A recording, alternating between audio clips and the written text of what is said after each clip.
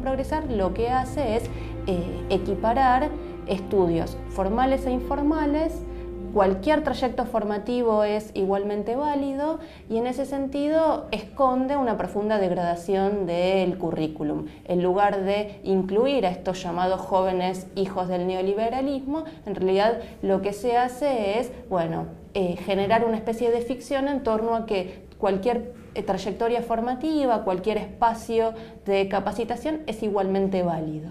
El Plan Fines 2 lo que va a proponer es que aquellos jóvenes mayores de 18 años, o sea, población joven adulta, pueda realizar sus estudios secundarios completos en una modalidad de cursada que tiene una duración de seis cuatrimestres, la cursada es dos veces por semana, menos de cuatro horas. El plan Fines 2 habilita que cualquier sede pueda funcionar como un espacio educativo, sean comedores barriales, bibliotecas o inclusive unidades básicas o casas compañeras de la cámpora. Un espacio que no está condicionado para funcionar como una escuela se transforma en un aula.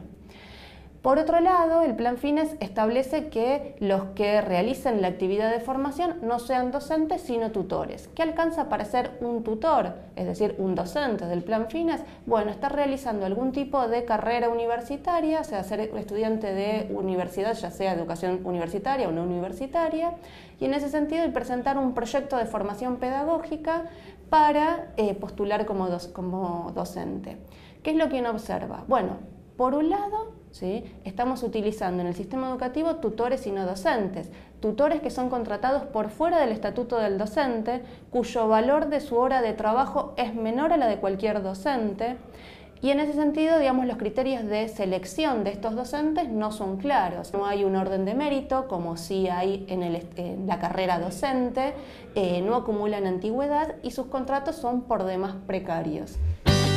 En una Argentina democrática, solidaria, unida y organizada, finalizar tus estudios es un derecho. Hay una tendencia a generar una estructura paralela al Estado que destruye un aparato del Estado. ¿Con qué objetivo? Hacer política punteril, servirle al gobierno, a este o a los que vengan. Es por eso que uno no encuentra voces encontradas que vengan a denunciar esta situación. Mientras plantean que están preocupados por la calidad educativa y por mejorar la calidad educativa y por incluir a los jóvenes en el sistema educativo, en realidad lo que se está generando en el sistema educativo, en el formal y más agudo en el plan FINES, tiene que ver con suponer que las demandas de la escuela son generar mecanismos de titulación, como si la escuela debiera dotar a los chicos de un título. La función de la escuela es educar y en ese sentido, en este proceso de educar, es combatir ese facilismo de, bueno, en seis cuatrimestres me llevo un título secundario y por el contrario promover una cultura del esfuerzo. La escuela debe brindar una formación integral, homogénea, que rompa esta estrategia de regionalización y de descentralización extrema del currículum. Fines es un ejemplo muy claro. ¿Por qué? Porque uno encuentra que hay tantos trayectos eh, formativos o tantos currículums como tutores en sede, porque cada uno eh, forma o presenta su propio proyecto pedagógico y eso es lo que eh, se brinda como educación.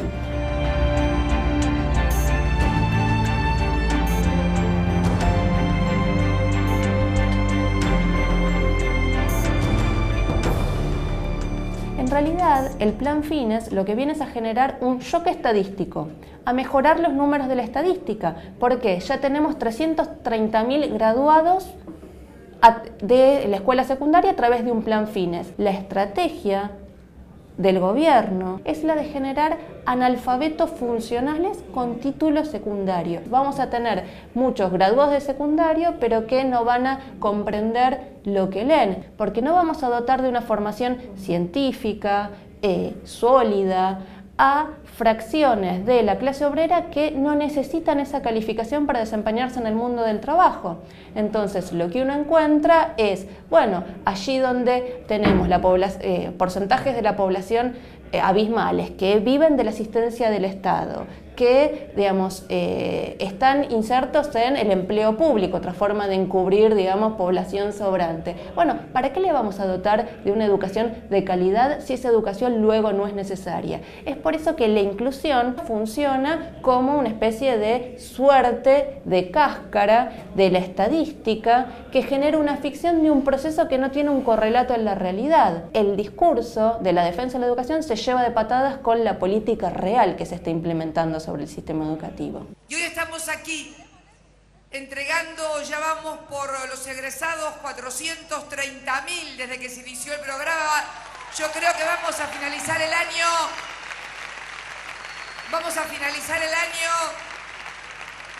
es mi gran ilusión, con medio millón de argentinos y argentinas que no habían podido tener su título y lo van a tener. Si en los 90 se discutía cuánto creció la gestión privada y desapareció el circuito público dentro de un circuito formal existente, lo que observamos con la estrategia del Plan Finas tiene que ver con la creación de un circuito privado paralelo al Estado privado paralelo al Estado que se sirve de los recursos del Estado para destruirlo.